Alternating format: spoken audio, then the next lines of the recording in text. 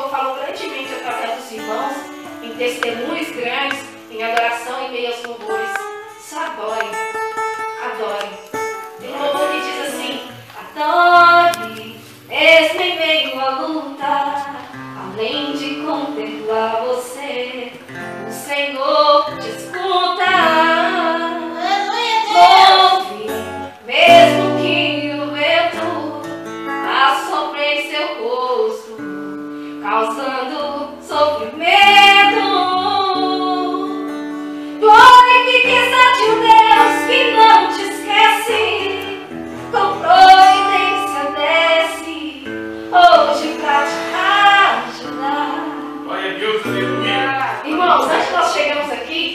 Tinha providência. Amém, Jesus. Eu creio que pelos olhos da fé, com Deus, como o Senhor nos fala, Ele é como o vento que nós não podemos ver, mas nós não podemos tocar, mas nós podemos sentir. Então sinta Ele nesta noite. Ele é o nosso renovo, Ele é o nosso consolo, Ele é o nosso socorro bem presente na hora da angústia.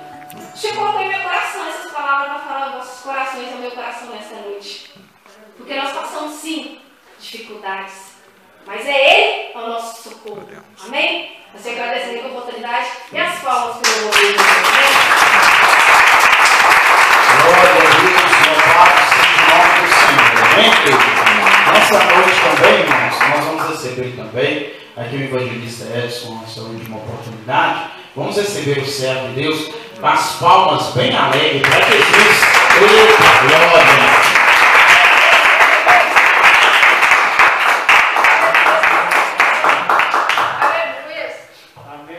Glória a Deus, aleluia, Jesus. Louvado seja o Rei Jesus. Glória A Deus. toda a glória dele, Senhor. Glória a Deus. Glória a Deus. Boa noite, igreja. Boa a noite, todos. glória a Deus. Com a santa e gloriosa paz do Senhor Jesus. Amém? Amém, glória a Deus. Como os irmãos já falaram aqui, né? verdadeiramente nós temos motivo de nos alegrar, igreja. Oh, glória. Eu sempre falo isso, sabe?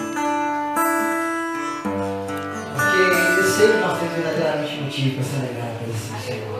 Se hoje nós podemos acordar vivos, se hoje nós podemos estar respirando, poder estar de pé, a Deus. Podemos estar na nossa plena sanidade mental, um privilégio da parte de Deus. A Deus. Nossa irmã Ana Flávia acabou de falar, o apóstolo Paulo disse leves momentâneas tribulações não há de se comparar com a glória que há de vir. Glória a Deus. Então Deus tem muitas coisas a manifestar na nossa igreja. Vamos permanecer firmes no Senhor. Quero louvar o Senhor com esse louvor aqui. Além do rio azul. Porque nós vamos meditar nas coisas que não são da terra, nas coisas que são celestiais.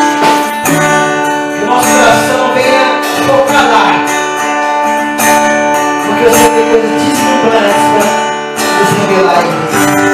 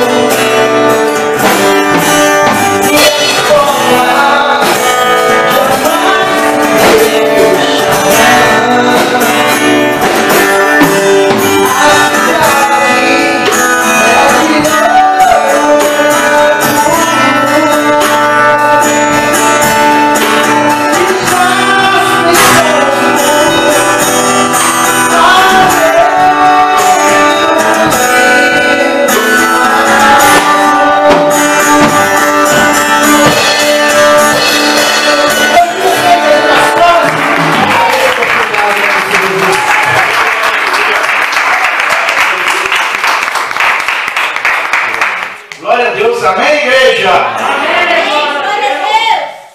A gente vai receber a nossa irmã Fia, pelo menos, para fazer uma oração para receber o pastor. Aleluia, glória a Deus. Glória a Deus, né? Aleluia. Glória a Deus. Glória a Deus. Louvado seja o nome do Senhor dos Exércitos. Amém, Jesus. Aleluia. Glória a Deus. Vamos colocar para o Senhor, amém? Senhor, meu Deus, meu Pai, mais uma vez eu me coloco diante do Oh, Senhor, perdoa os meus pecados, pelos meus falhas. Senhor, mais uma vez eu coloco teu servo nas tuas mãos, meu Pai. Só venha usar ele aqui, que ele diminua, que só venha crescer na vida dele a cada dia mais, Pai. Senhor, meu Deus, eu venho falar através da tua palavra, da tua igreja hoje, Pai. Nós diminui que tu cresça, Pai. Só fica à vontade, Espírito Santo. Consola, eles precisam do teu consolo. Pai, só Senhor Jesus, o Senhor é santo, é poderoso, é grandioso. Venha ficar à vontade, venha falar, Pai, aqui nessa igreja hoje, como o Senhor nunca falou, Pai. Todos os dias você está aqui presente, Pai, nós chegar seja estável, Jesus. Tira toda a frieza, tudo que não provém a Ti, ó Pai, em nome de Jesus. Pai, visita lá no teu céu agora. Visita a sua esposa, visita os seus filhos. Senhor, dê o livramento ali, Pai, em nome de Jesus. Dê o livramento do teu servo por onde ele passar. Honra teu servo, Pai, em nome de Jesus. Senhor, agradeço a oportunidade em nome do Pai, do Filho e Espírito Santo.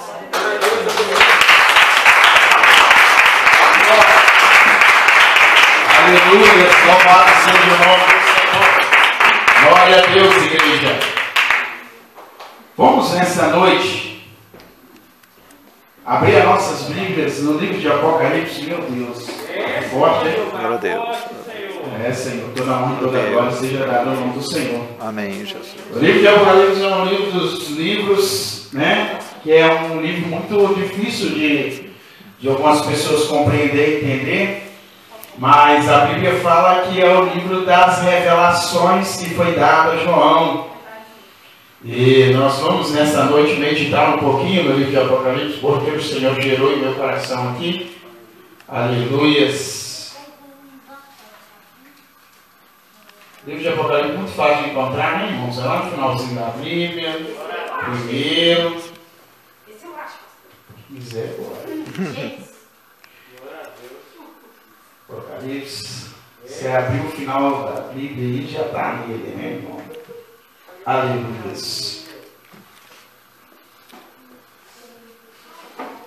Glórias seja dado o nome do Senhor dos Exércitos. Nós vamos ler aqui o versículo de número 1, cap, capítulo 1, versículo 14, para a glória de Deus. Amém, Jesus.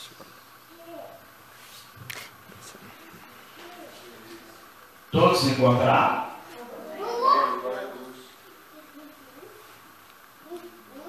Onde eu parar, eu peço aos irmãos que continuam como de costume. Amém?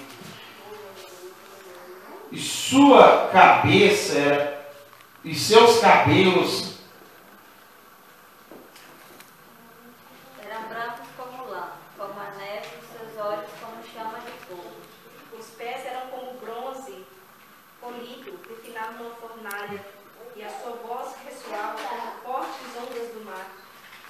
Minha mão direita tinha sete estrelas, na sua boca saía uma espada afiada dos dois lados. A face brilhava como o sol em todo o seu esplendor. Quando o caí aos seus pés como morto. Ele, porém, colocou a mão direita sobre mim e disse: Não tenhas medo, eu sou o primeiro e o último. Sou aquele que vive e estive morto, mas agora vivo para mim sempre. Tenho a chave da morte e do mundo dos mortos.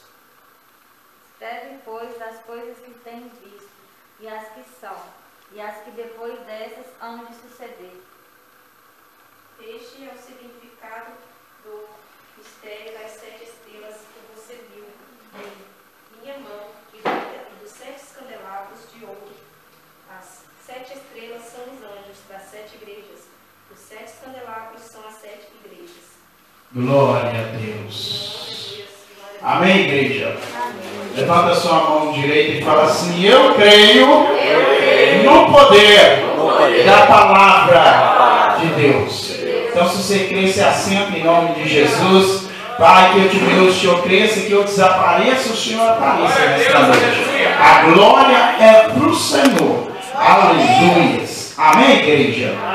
Amados queridos irmãos, nós vamos falar hoje de algo muito interessante, uma das cartas do apóstolo né, João, um dos homens que pela Bíblia Sagrada foi para mim o mais honrado em aos discípulos, porque ele foi o único que não morreu é, como Pedro morreu sendo crucificado de cabeça para baixo, como Estevão morreu sendo predejado, mas ele, a morte dele foi a morte de velhice, já, já foi uma morte totalmente natural.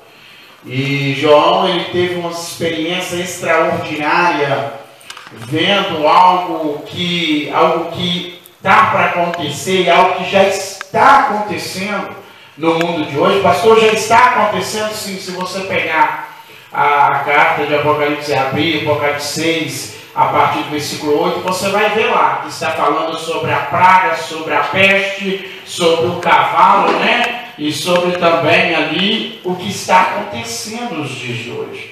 Aí quando você abre um pouquinho mais para cima, você vai ver que seria uma medida de trigo pelo um pouco de dinheiro. Duas medidas de trigo e não danifica o azeite. E aí a gente vai começar a entender que hoje a gente vai no supermercado, a gente vai com tanto de dinheiro e traz um pouquinho de coisa, né? Então a gente vamos vendo que realmente está acontecendo. Então vamos lá para aquilo que a gente acabou de ler. A Bíblia fala que João agora ele tem, na, na, ali João agora na ilha de Pátio, ele vai ter uma visão, uma visão gloriosa, né? A Bíblia fala que então agora na ilha de Pátio ele vai ter essa visão gloriosa do Mestre. Ele vai ver ele então, primeiramente ele vai ver ele com, de costa. E ele vai ver o que? Que os seus cabelos eram brancos como a pura e aí depois ele vai ver que ele se vira. E quando ele se vira, ele vai ver que da sua boca sai uma espada de dois Gomes. fios, né? Em algumas Bíblias. Então aí a gente vai entender que ele então agora vai olhar para, então agora ele vai olhar para os seus olhos e ele vai contemplar que os olhos dele era como o quê? Fogo. Como uma chama de fogo. E ele vai então agora contemplar quando ele olha para os pés, ele vai contemplar que os pés dele é como latão refinado, levado na fornalha e tirado, não é assim? Aí ele vai contemplar algo interessante. O que, é que ele vai contemplar? Que quando ele abrir a sua boca, ei, a sua voz é como águas caindo em vários lugares ao mesmo tempo. Vamos colocar como se fosse uma cachoeira. Você chega próximo da cachoeira e você ouve aquele som. A voz dele é como voz de muitas águas. Aquela voz suave, aquela voz que entra e acalma. João ele vai ter essa visão aí do Padre e ele vai começar a entender que ele estava vendo o próprio Filho de Deus, aquele que um dia tinha sido morto, mas ele ressuscitou no terceiro dia. Então é muito simples da gente entender a palavra. Eu mesmo já li para a glória de Deus, não falo isso para me gloriar, mas eu já li Apocalipse umas sete, oito vezes, ele todo, indo voltando, versículo por versículo. Então aí eu vou entender a- o Senhor agora mostrando para João, tá? o Senhor está mostrando para ele que ele então era o Todo-Poderoso, que ele teve morto, mas ele ressuscitou entre os mortos. É assim? Nós vamos ver que o Senhor ele vai dizer algo interessante aqui, que muitas pessoas não entendem. O Senhor vai dizer que ele tem a chave de quê? Da morte do inferno. Em algumas Bíblias, igual a minha aqui, está falando do inferno. Né? Outras falam do Hades. Então a gente começa a entender, irmãos, que o Senhor tem tudo em suas mãos. E ele está mostrando agora a João, e ele vai mostrar o significado das sete estrelas